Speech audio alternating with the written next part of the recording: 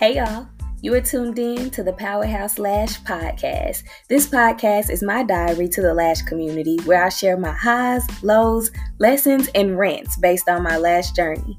My heart is to share the reality of what it's really like to build a lash business, and I hope this episode helps you feel seen, validated, educated, humored, and makes your lash journey a little bit easier. I'm your host, Tee the Brand, and I'm glad that you're here. Now, let's get to it.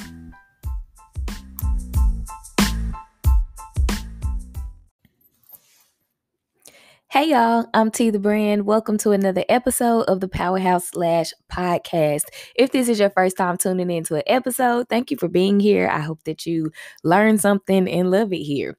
So, in this episode, I'm going to be sharing about one of my favorite topics to educate on because it is one of the biggest struggles that we have in the lash industry as beginners and sometimes as we have, you know, been on our lash journeys for a little bit, and that is lash retention. Lash retention extension is um, you can define it as how long an extension stays attached to a natural lash. So if your extension stays attached to your client's natural lashes for the weeks in between when they come back to get fills, then that means that you have a great retention. If your extensions do not stay attached to your client's lashes well or long enough, that means you have poor retention. So, retention just means how long the extension is staying attached to the natural lash, if it is shedding off with the natural lash, or if it is prematurely coming off um, in between fills and such. So there are a few things that go into um, maximizing your attention. And one of the main things that everybody gets in a frenzy about is their adhesive. I know a lot of lash artists who um, I've worked with who have experienced bad retention and they think it's their glue. So they buy go out and buy another glue. And When that glue isn't doing what they need to do, they go buy another glue and try another brand. And before you know it, you have a collection of open adhesives that you really probably could be using, but you don't know how to use. So I hope that um, this insight will help you increase your client retention, your client lash retention. So um, along, since we're talking about adhesive, we're just gonna go ahead and kill this bird. Um, a few things go into adhesive. One being the humidity. Every package of adhesive, every bottle of adhesive has um, a little indicator on it that talks about humidity. It tells you what the humidity in the room needs to be in order to have the glue function at its um at its best.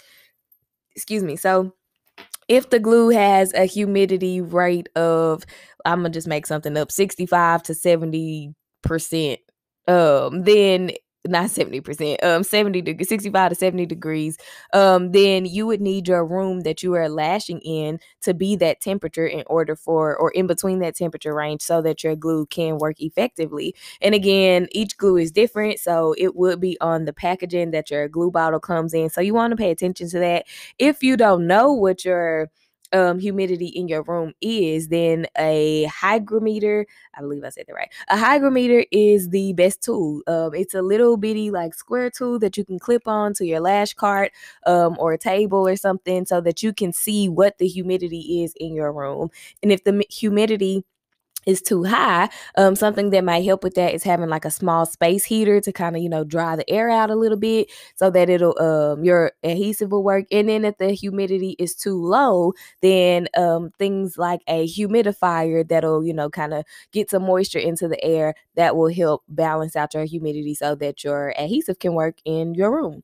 So that's one thing about adhesive. Another thing to consider with adhesive is the dry time. And I know a lot of times we may think, okay, the dry, we need the lashes to dry faster, but that dry time really depends on how fast you lash. So say if you're doing a set and you um, put some adhesive on your lash extension and you go to apply it, well, you have to go in and isolate um, and then make sure that you're getting it placed on there the right way. If you are a slower lasher, meaning like you just started or you just haven't been able to get your time down. That's okay. It's normal. It'll happen. There is no um quick fix to that. You just gotta keep practicing, keep working and get better, and eventually you'll get faster. That's just that on that. There's no cheat code to getting faster at lashing.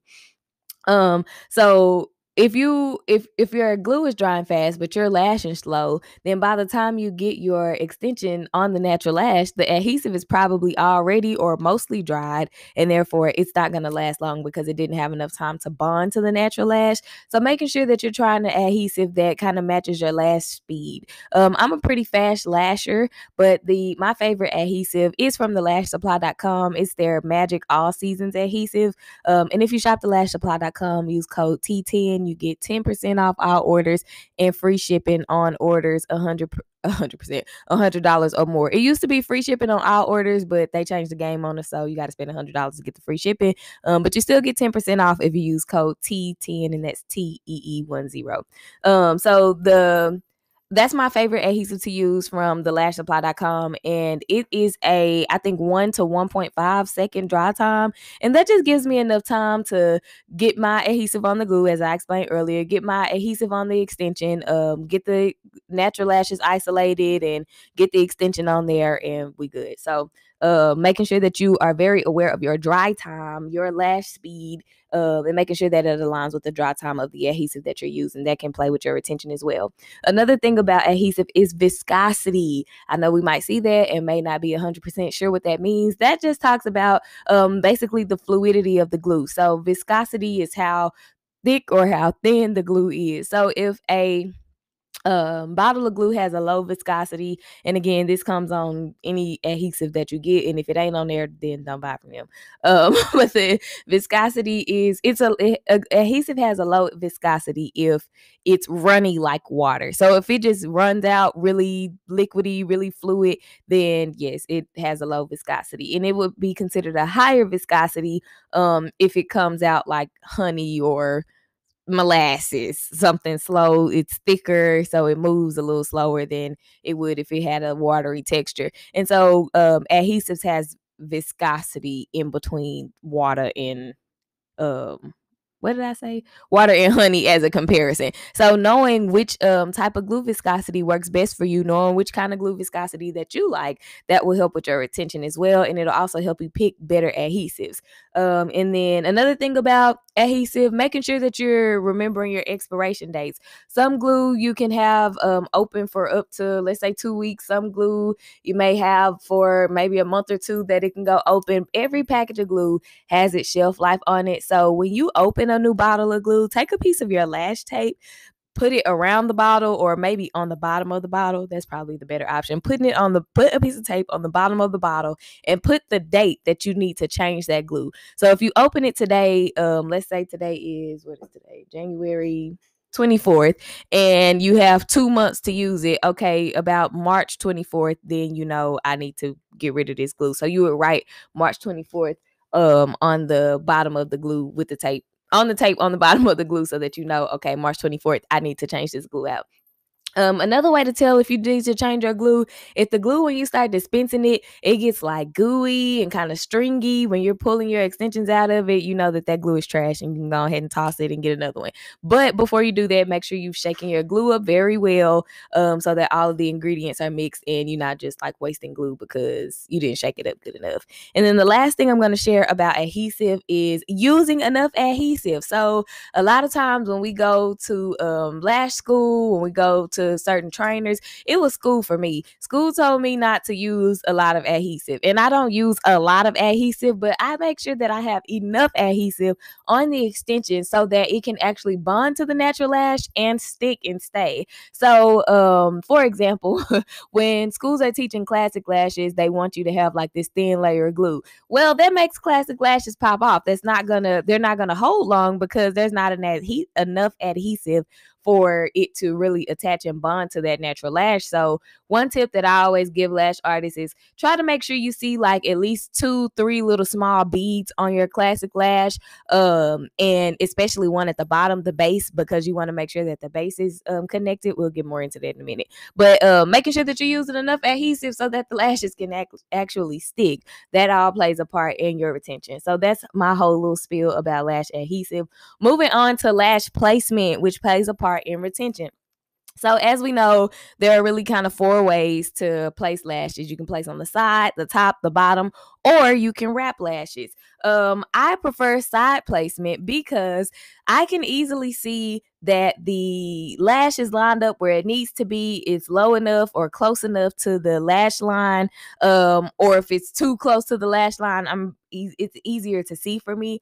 Also, with side placement, I'm able to just line the extension up with the natural lash and just stick it over to the side. And I'm able to see that both the base and the stem of the extension are attached to the natural lash. Sometimes with top and bottom placement, only either the stem or the base of the extension is attached to that natural lash, which means when your client goes to brush their lashes, those extensions are going to come off if it's not holding on to both the base and the stem, or if only the base is attached and the rest of the extension is lifted off the natural lash, or if the stem is just attached and then you got um, the base lifted up and then the rest of the lash lifted up from only that like piece of the stem being attached. So making sure that if you do um apply on the side on the bottom I mean, not on the side, on the top or on the bottom. Just make sure that you are double, tr- maybe triple checking that your extensions are um all the way on and that the base and stem are both connected. Again, side placement helps you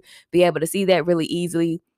Um, I also like side placement because it makes the removal process a lot easier. So yeah, um, when I'm removing outgrown lashes, of course, not doing like a full removal with like a, a, removal gel or something. So making sure that your placement is on point and that your lashes are placed properly. And again, I cannot stress enough that the base and stem are connected to the natural lash. Um, that'll help you improve your retention.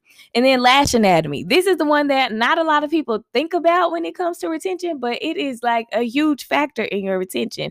If you are lashing mostly telogen lashes, those lashes, as we know, are about to shed. So if you're putting all of their extensions on lashes that are about to shed anywhere between now and who knows when, then when your client's lashes come off, they're thinking, oh, they didn't last. But what was actually happening was you just lashed a bunch of lashes that were at the end of their lash cycle and they came off. So making sure that you are aiming for catagens and anagens. Now, I know that lash and anagens can be really scary. And if you went to school, they told you to leave them alone, probably.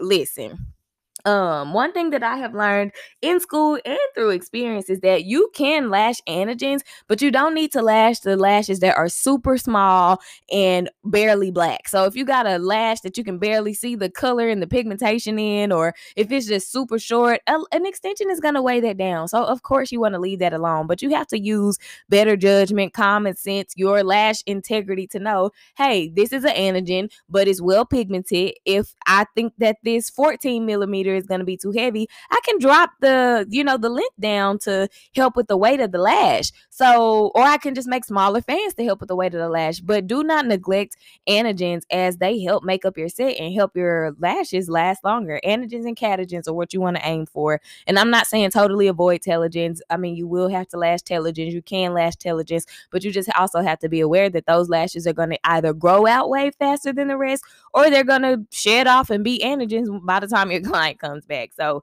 definitely considering lash anatomy when you are working um, on improving your attention. And then let's talk about primer. okay, so lash primer is it's basically uh, up to you as an artist. I don't personally use primer. I used to use primer, but I stopped doing primer when I started offering complimentary lash baths with all of my services. Um, I just prefer to work on a clean surface, and although primer removes oil or whatever that might be in the um, natural lashes. I just feel like lash baths are a bit more thorough um, and I can just get more like real cleaning done. So um, if you do use a primer, things to consider for your retention are if the primer is water based or alcohol based.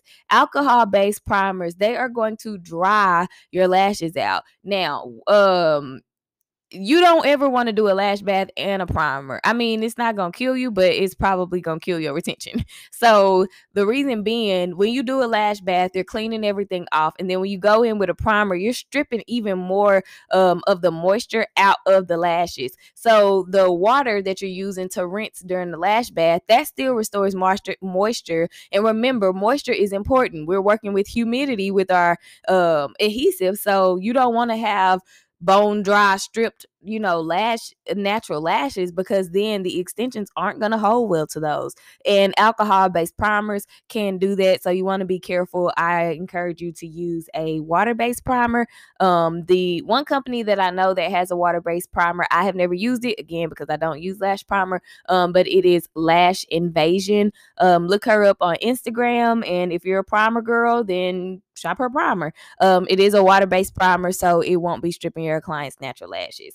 Um, while we're on the road of primer, let's talk about Bonder. Bonder.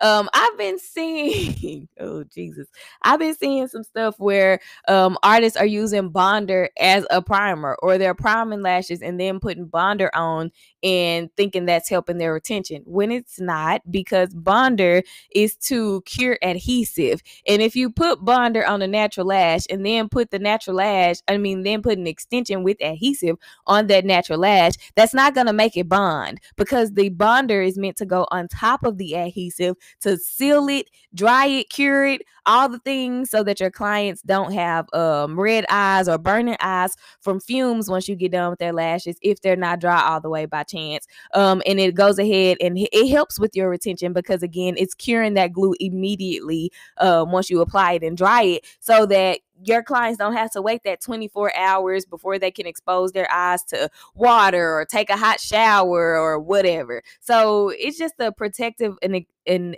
extra protective layer um, for your your client's lashes and their retention. But don't use the bonder before you put the lashes on. Put the extensions on. Get you a micro swab. Apply the bonder to only the excuse me to only the base of the lash in the. Oh Jesus sorry y'all. Um, apply it to only the bond of the natural lash and the extension. That way it can cure that glue and go on about what it's gonna do. So those are uh, my tips for um, increasing your client retention making sure that you know all things about the adhesive that you're using and that you're using it correctly making sure that you're placing your lashes in a way that um, won't compromise the integrity of your client's lash retention, considering lash anatomy, using primer, water based primer, preferably, um, giving lash baths and not lash baths and primer, and using a bonder should should you so choose. Um, two bonders that I really like uh, my first pick is Bonder from thelashsupply.com. Um, I've been using their Bonder for about two months now, and I love it. And then my second pick would be the Climax Bonder from Liv Bay, and that's L I V B A Y. Look them up on Instagram as well, as well as the Lash Supply official. Um, and yeah, take your pick. Bonder is amazing and that's just that on it. So I hope that this um, episode was helpful. I hope that you have better lash retention after listening to it. Um, if you guys have any questions, feel free to leave them in the review section or send me a DM on Instagram at Powerhouse Lashes by TTB. Um, and I will see y'all in the next episode.